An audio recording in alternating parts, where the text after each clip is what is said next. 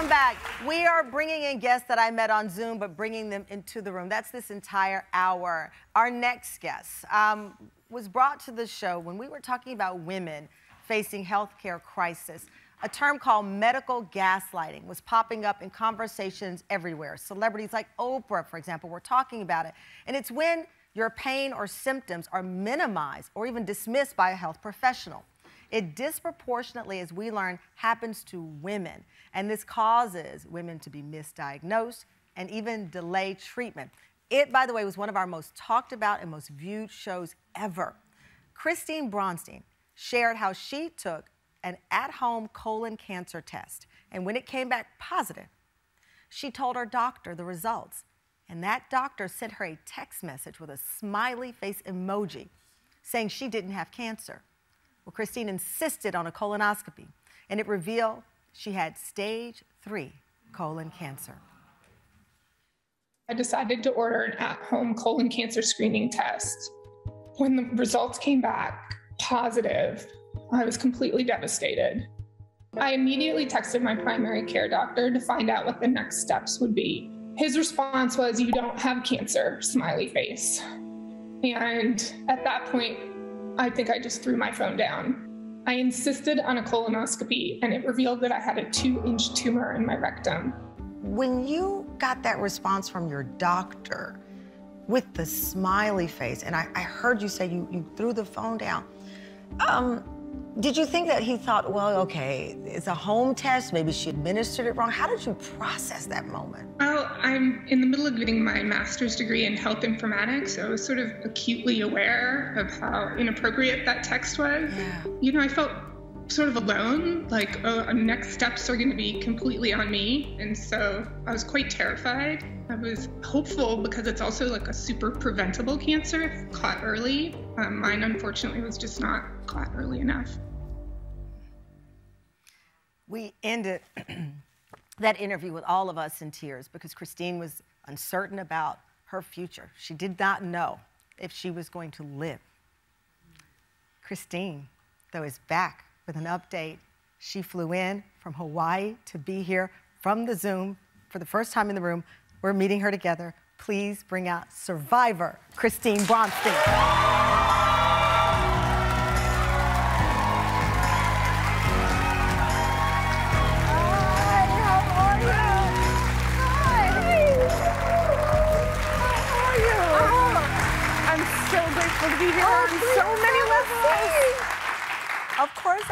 I'm tearing up. Oh, it's, now I'm gonna cry. Um,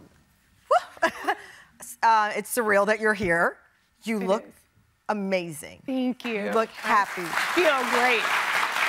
Where where are things now?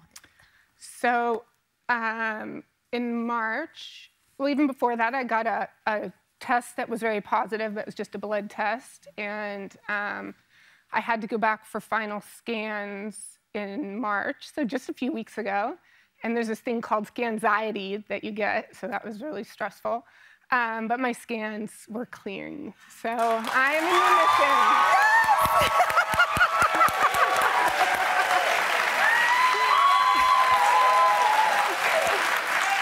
we have. Um, we have some women in our audience who said cancer survivor here, so I knew this ah. story would resonate.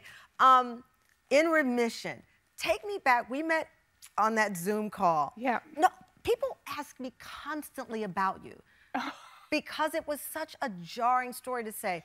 I reached out to my doctor. That doctor sent back an emoji, and then you learned you actually had cancer. Yeah. It, what was the response when you saw people? oh, such a great. I mean, I got um, connected to so many people who are either going through it. I've been doing a lot of advocacy work that makes me feel, you know, made me strong through my treatment. Um, and then just a lot of people who are having a hard time getting colonoscopies, even though it's the age is 45 now you shouldn't be having a hard time getting a colonoscopy at 45. If you're healthy, that's still the time to get it.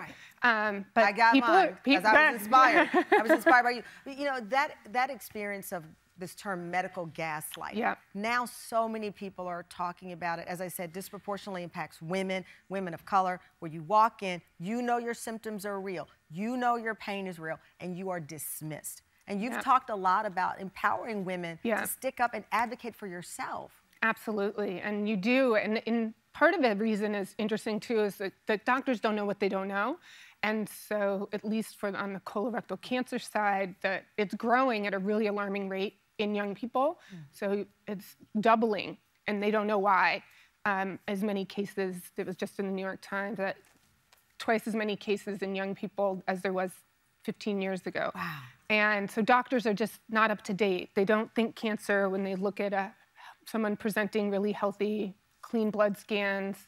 Um, so, you know, it's that fine line of you have to know your body and you have to push and you have to get your prevention and your screenings and get to the right doctor. Wow. Next up, Christine's husband Phil joins us and the life-saving information she wants to share with the TamFam. We'll be right back. I mean, I'm staring at you like.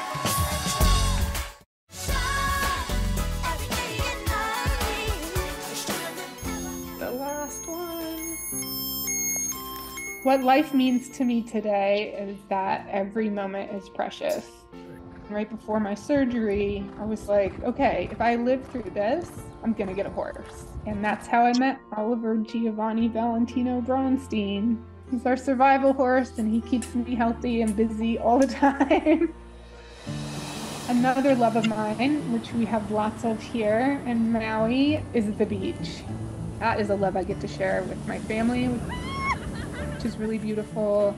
Going through cancer was powerful and made me appreciate my friends and family.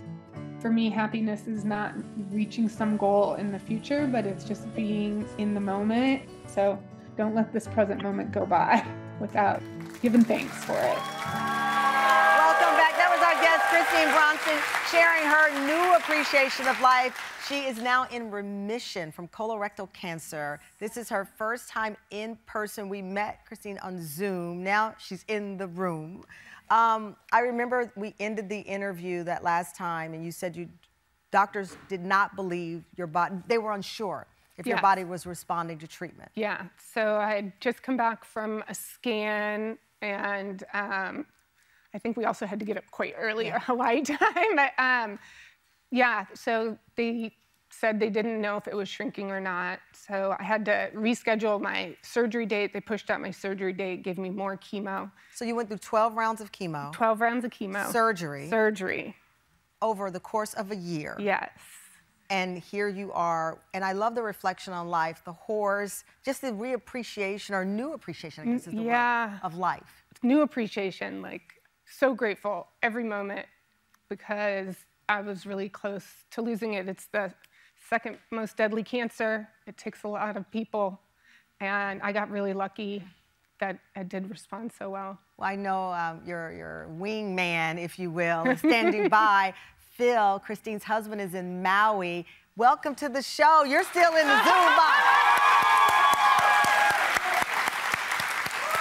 Um, Phil, I know that that for a loved one to watch someone go through what she went to went through had to be unimaginable. But you're also a journalist, and you're um, a finalist for the Pulitzer Prize. So you're a writer. The, the conversation about medical gaslighting and listening to women and having a better relationship with our doctors. Are you seeing better reporting um, on this?